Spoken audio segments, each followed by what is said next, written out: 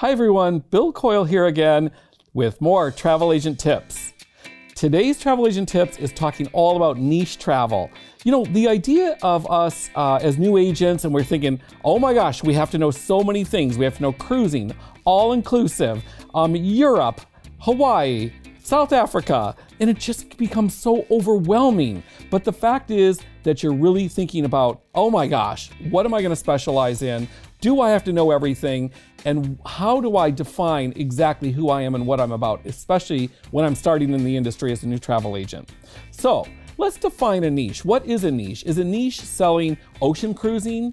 And is that the Caribbean and Mexico? Is that ocean cruising in the Mediterranean? Does it include Alaska, Canada, New England, South America? Or is a niche for you maybe all-inclusive resorts and you just want to focus in on a few? Maybe you're a sandals expert and you only want to do honeymoon or romance travel. Is that a niche that you're going to focus in on? Your niche should be your bread and butter. That means that's going to be that consistent business that's coming in. For a long time, my niche was all-inclusive resorts. I focused in on a few, I knew exactly where they were, what the benefits were between them and others, and I stuck to the Caribbean and Mexico. When I wanted to break outside that, I did, but that we'll get into a little bit later.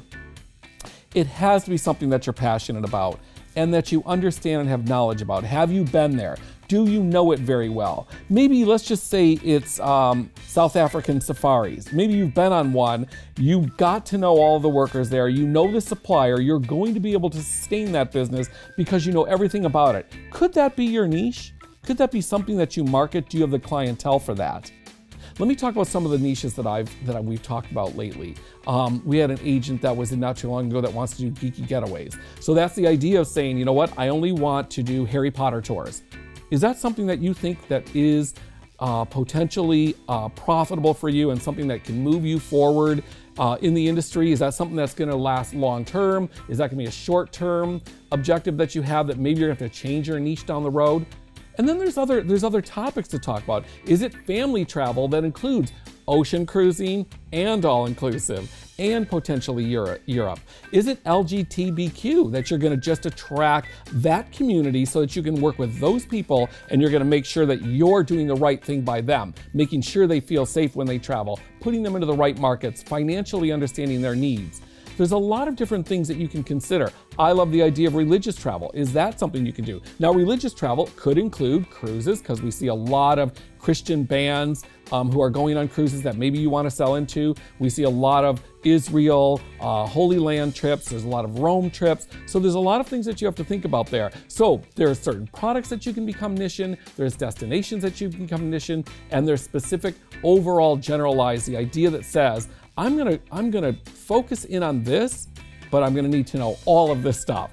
So really, it's that idea you have to stop, take a, take a, take a deep breath, think about what it is you wanna do in this industry, and decide if specializing is right for you. It's really, really something that you possibly can focus in on. But let's just say you're a home-based agent and you're gonna specialize in something. How are you gonna handle your marketing? Are you now going to try to remarket clients, that means you're going to take those clients that you have and say, no, I am specializing this. Or are you going to start your agency and say, you know what?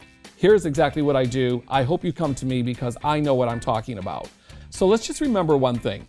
Uh, being a niche specialist could be about a destination, it could be about a product, and it could just be about all your clientele in general. Who is your clientele? Define them and becoming a niche with them and a specialist in what they're looking to do.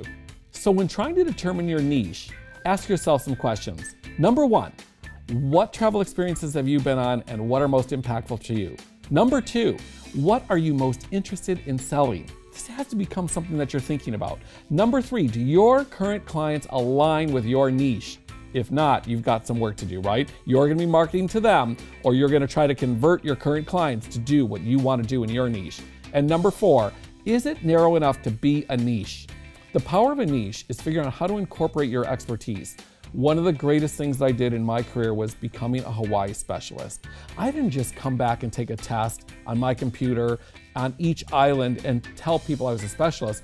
I went there and experienced each island. I took my test on the island that I was that I was doing my test on, that I was doing my specializing in. So just think about that, right? Six islands, I went to all of them, I did that test, and once I got back from that and I understood it, don't forget it took me about 6 or 7 years, I was able to say that I was a specialist on the Hawaiian Islands. My business grew by 60% just because I let people know that I was a specialist, whether it was in marketing or face to face, they were very excited. The referrals just started to flow in. So that was a nice niche for me. It's I still kept my bread and butter business by keeping Mexico and the Caribbean, but I flowed into the Hawaiian market and really appreciated everything that I know about it. So let's just do a quick recap on niche marketing. Do you care enough about that destination? Do you care enough about having that destination or that product as your niche? Are you knowledgeable about it enough? I'll, I'll, never forget the time I tried to sell the Galapagos. I didn't know enough about it, and that client knew, that potential client knew that I didn't understand it. So they went elsewhere to find their trip. So make sure you completely understand it, you're knowledgeable about it, and you're passionate about it. And then the key factor is can you make money on it? And is it focused enough for you? Is it something that's easy for you to ascertain and convince people that you know enough about it to get them to go? The key factor, the right clientele, I really think that that's important. Is it the clientele that you have in your database or the fact that you're out looking for that clientele? Because now that's gonna add on all kinds of marketing resources that you're gonna need. And if you know it, they're gonna understand you know it. If you don't know it, they're gonna know that as well. So make sure that you understand your clientele.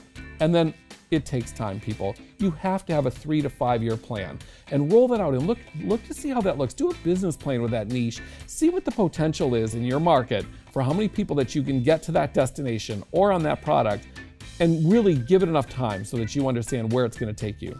If you've enjoyed this video and you love listening to me about all the different topics that we talk about, please make a comment below.